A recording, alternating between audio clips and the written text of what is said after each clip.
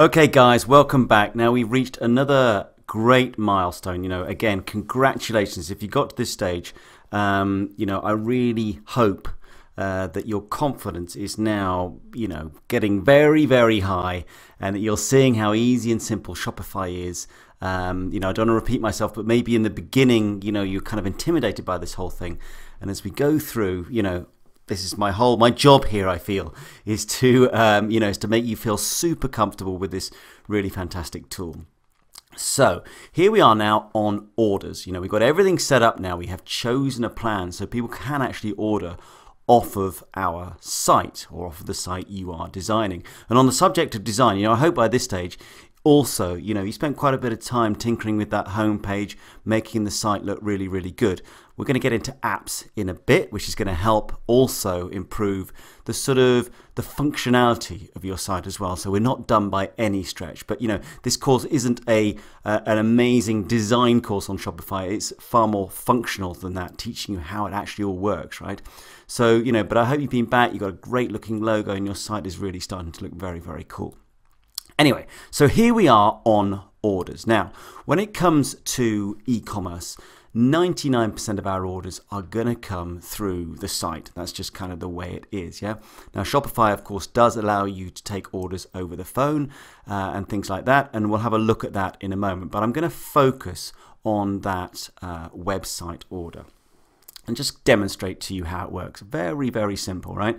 So what I've done here is I've chosen this uh, this uh, uh, this squeaky chew toy thing for this dog. Okay, in case you're getting a bit freaked out by that, uh, it's just this funny thing here, right? That the dog puts in its mouth. I'm sure you've uh, well, I don't know whether you have seen something like that, but there you go. That's what it does. Uh, kind of makes me laugh, so I, I put that in there as an example. So all we're going to do is add to the cart, right? And I'm going to move now to the checkout. Now I should say straight away that I have integrated PayPal, okay, just a very quick simple integration with my PayPal account, my existing one, and I hope you've had the opportunity to add in some sort of payment provider, yeah, be it Shopify Payments or Stripe or PayPal or indeed any other, all right, and you've managed to sort of get to this point where the customer has the opportunity to, to buy through one of your payment providers. So there we go. PayPal is the chosen one. If there were other ones up here, then they would show, right? So the customer would have a choice which way to go.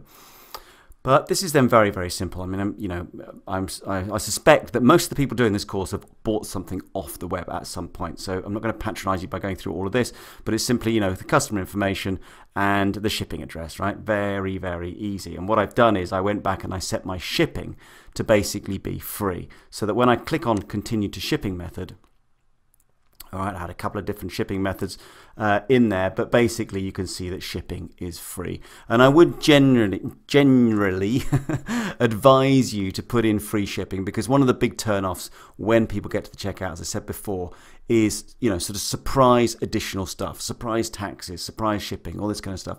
A lot of people run away at that point. So I would uh, I would strongly advise you to go for free shipping as much as you can.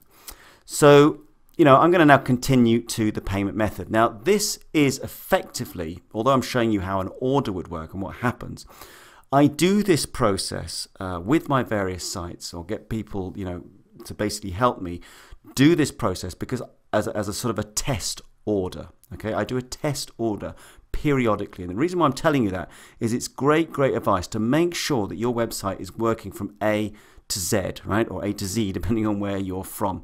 You'd be amazed the number of people that contact me and say, you know, I'm having trouble with my site. Uh, you know, people aren't buying from me. I'm getting lots of add to carts. Nothing's happening, blah, blah, blah.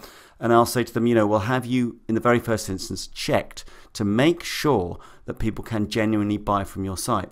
and they'll go through and you know in some cases more than you might think people come back and realize that actually their payment provider isn't working in the way they thought it was so it's a great idea as well to you know as i'm showing you just a simple order process to factor into your whole business uh, periodic test orders right so as i click on continue to payment method here then in this instance you know it's proposing me paypal and i will then go straight through to complete order so I'm now going to make that order and I'll see you on the orders page and show you exactly how that's going to look.